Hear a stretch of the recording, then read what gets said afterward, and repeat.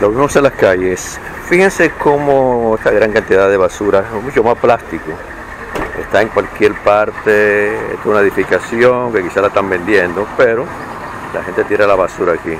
Y esto es totalmente dañino para el medio ambiente. Lo vimos en las calles.